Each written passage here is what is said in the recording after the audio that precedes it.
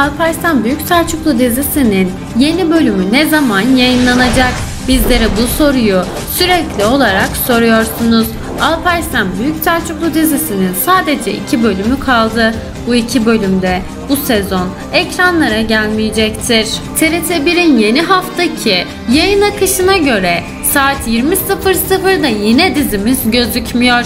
İddiaların aksine adlı programın yayınlanacak olması ve 22-25'te yerli bir dizinin ekrana gelecek olması dizimizin yine yayınlanmayacağının göstergesi. Yeni sezonda dizimiz yeniden ekranlara gelecektir. Kanalımıza abone olmayı ve bildirimleri açmayı unutmayın.